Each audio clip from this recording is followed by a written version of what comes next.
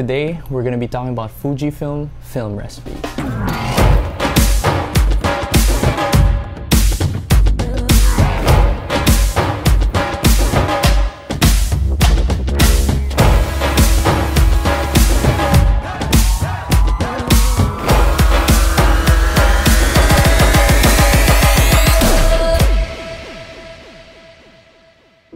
Hey guys, it's your boy Maqui, and I'm a photographer and filmmaker by profession. Um, and welcome to the first episode of T3. Finally. Um, anyway, uh, since it's everyone's first time, including myself, I just wanted to say that this is a series where I'll be talking about tips, tricks, and tutorials for photography and videography. So today's episode is just, you know, a little simple tips video for, well, technically Fujifilm users, um, just to get my foot in the door of this whole YouTube thing because I'm still not used to YouTubing after my big, not big, but long hiatus.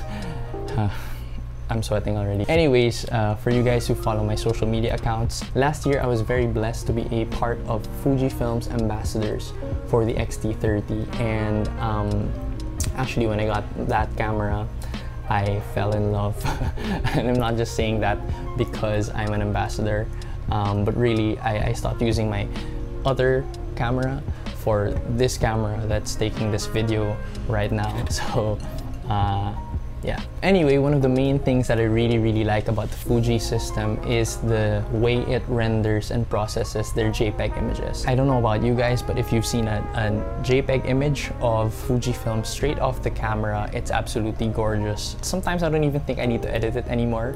And that is um, really thanks to you know the way it mimics their film stock. So um, the picture profiles of Fujifilm um, actually mimic their film stocks from before. So you can have Eterna, you can have uh, Classic Chrome, Provia, Velvia, all of that stuff. It's just really amazing because straight off the camera, you have really good images already. And to be honest, ever since I got this camera, I haven't shot in RAW. Um, using my other cameras, I normally shoot in RAW profile, um, but for Fujifilm, I shoot JPEG all the time. I really think that the way you know Fujifilm really renders its images is, is just good for me. But one of the new things that I found recently during the quarantine is the fact that there is such a thing called um, film recipes for Fujifilm and um, I stumbled upon the blog of Fuji X Weekly um, palagi kasi nagpa-pop up yan sa, sa feed ko for some reason. You know, film recipes are just this whole other you know universe I guess for for Fujifilm users because a lot actually just use JPEG like myself. It's very similar kasi to, to the way we use picture profiles in other camera systems, right? So when you have a picture profile, um, it has a certain look and you can adjust, you know, a lot of the settings in that look. So you can adjust, you know, the color, you know, temperature, tint, you can adjust the sharpness, you can add green, reduce green, um, highlights, shadows, all of that. With Fujifilm,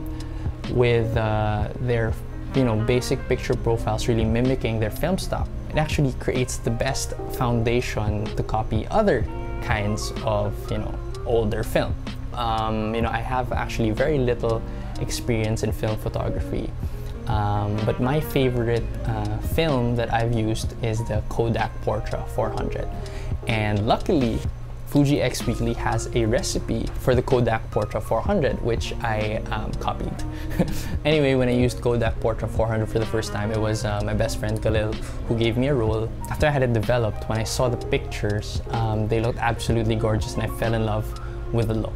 I've been playing around with this film recipe for a while, for the last, you know, last couple of days. And here are the settings that I used. So the settings that I use are actually the exact settings from the blog, um, I just copied it straight up. Uh, I didn't really modify anything yet. Maybe I will later on, but right now, no modification. And if you want to check it out, uh, the link is down at the uh, and if you want to check it out, the link is down below. Anyway, there's no point in me telling you that I just, you know, got this film recipe and took shots with it, so I might as well show you all the shots that I took, about. So here are some of the images that I took using the Kodak Portra 400 film recipe.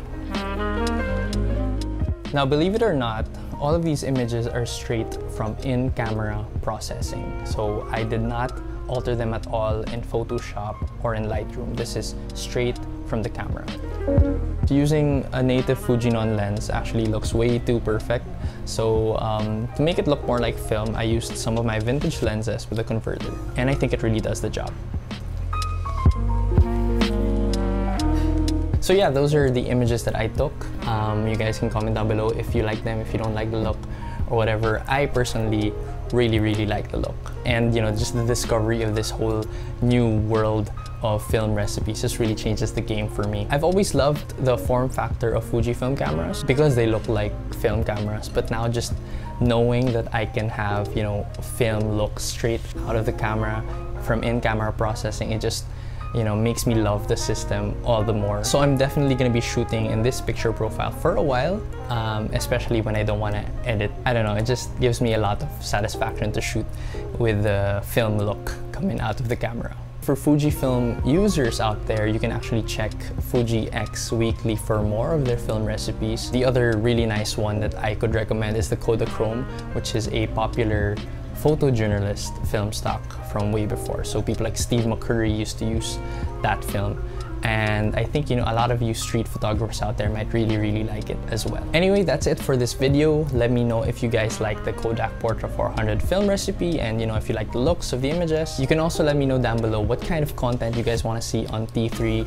I actually have a set of topics that I might talk about, you know, tutorials and, and such that I might talk about later on but I really want to know what you guys would want to see uh, in this series. All right, I guess that's it for episode one of T3. Again, if you guys like the comment, please like. If you guys want to see more content, please subscribe. And always remember, don't hesitate, create. Peace.